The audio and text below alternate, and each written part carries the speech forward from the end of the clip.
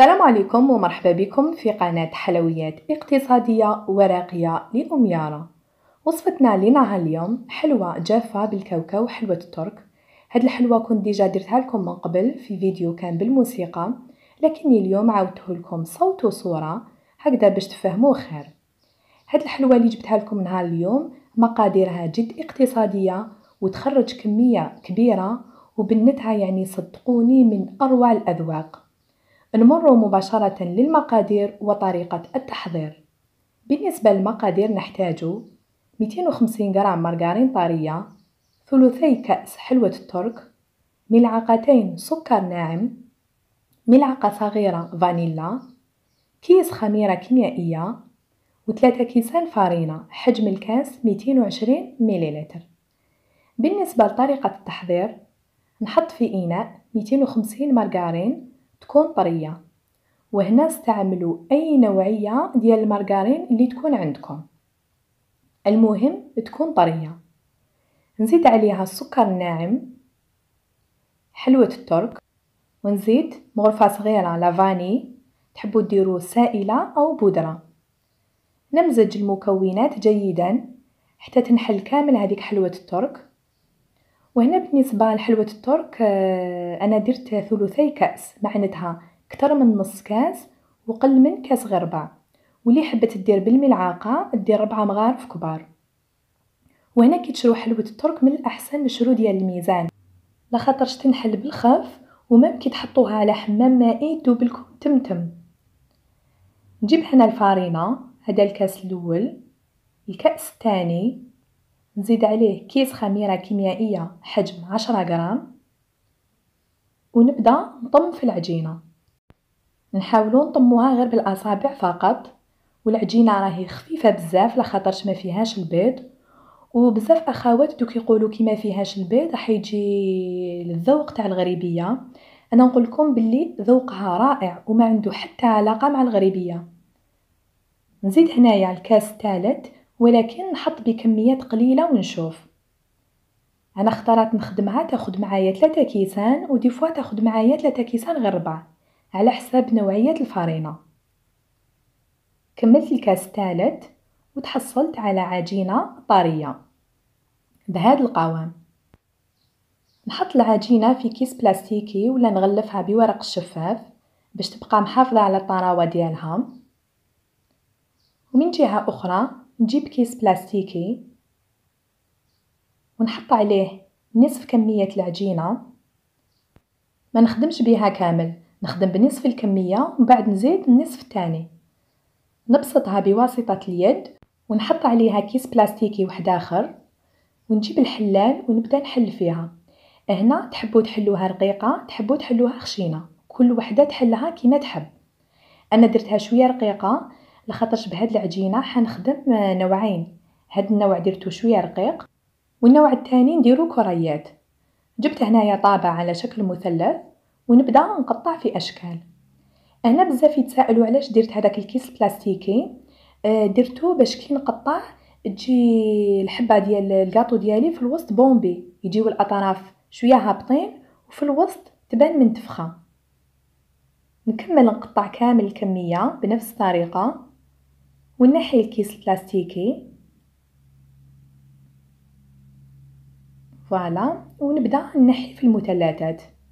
شوفوا كيفاش جاوني جاو الأطراف رقاق وفي الوسط جاية شوية منفخة جاية بومبي. نكملهم كامل بنفس الطريقة.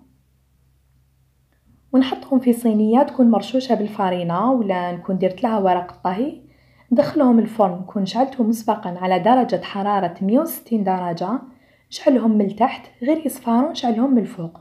هاد الكاطو ما ياخدش وقت طويل تم تم يطيب لكم ما لا لازم تعسوه مليح وبالنسبة للعجينة اللي بقات لي عملتها على شكل كريات حجم الكرية من 25 حتى 27 غرام.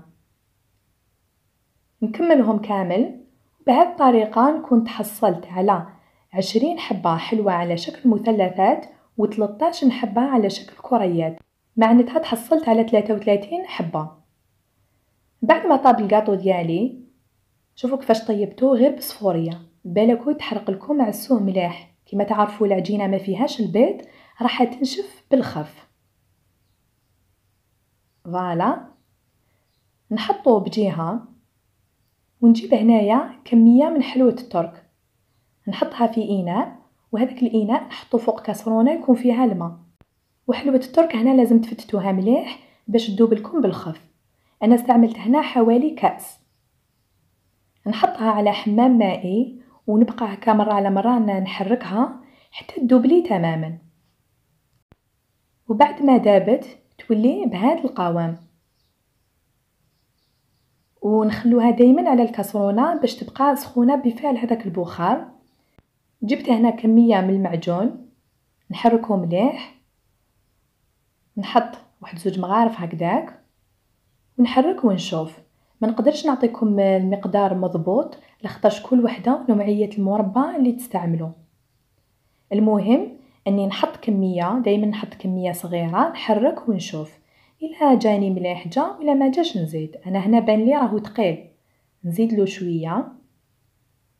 ونحرك ونشوف. هنا الخليط اللي لازم نتحصل عليه ما يكونش خفيف بزاف وما يكونش ثقيل بزاف يكون شوية شوية. voilà هذا هو راني نحوس عليه. جبت هنا الكاوكاو كتدبيره فقط حبيت نوريكم طريقتي. آه، كيفاش نحتفظ بالكاوكاو. بزاف سقساوني قالوا لي الكاوكاو كي نرحوه يجينا معجن. الكاوكاو باش ما يجيكمش معجن لازم تحمصوه غير تحمصوه ترحوه هو سخون. لو كان يصح يبرد.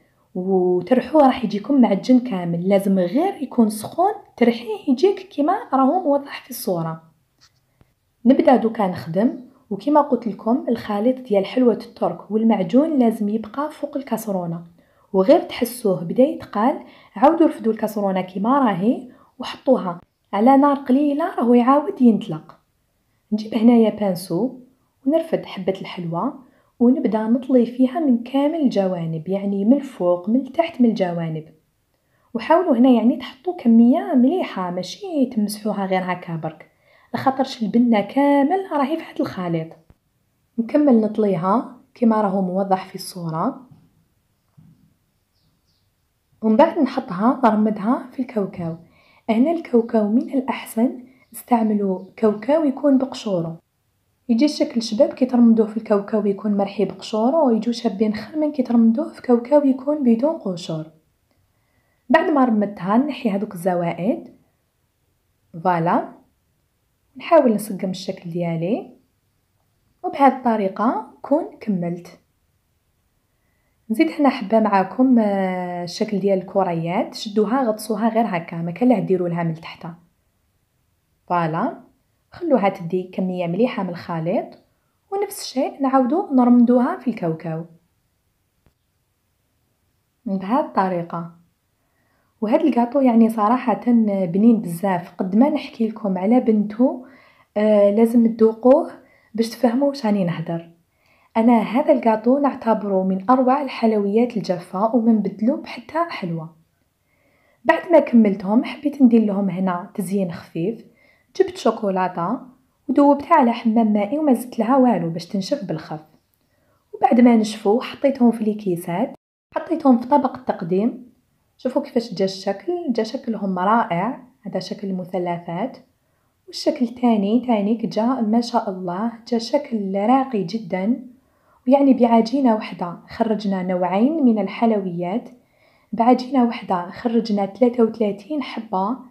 بمكونات بسيطة تحصلنا على حلوى جد راقية وتحمر الوجه وتصلح بزاف للأعياد للمناسبات يعني ذوق ومنظر. شوفوا كيفاش جات نقربها لكم عن قرب. جات ما شاء الله ريحتها روعة وهاد القاطو يذوب في الفم. ما عندي ما نحكي لكم على بنته مانيش قادرة نعبر لكم على البنة ديالو. أنا ماذا بيا تجربوه؟ وما تحرموش نفسكم من هذا الذوق الأكثر من رائع. نقسم هنا حبة معاكم شوفوا تقسمت معايا بكل سهولة. شوفوا هنايا. جات روعة. نقسمها لكم بيدي خير باش تشوفوا الطراوة ديالها. شوفوا جات هشيشة وخفيفة وبنينة وتصلح بزاف لشرب القهوة ولا تانيك لشرب الشاي. وصلنا الآن لنهاية وصفتنا لنهار اليوم. إن شاء الله يا ربي تكون عجبتكم وتجربوها وتنجحوا فيها وتبعتوا لي تطبيقاتكم عبر الجروب التابع للقناة. اسم ال groupe حلويات اقتصادية وراقية مع أم يارا. رابط ال groupe تلقاوه في صندوق الوصف. دوكا ما بقى لي غير نقول لكم تهلاو في روحكم ونتلاقاو إن شاء الله في وصفة أخرى عن قريب. مع السلامة.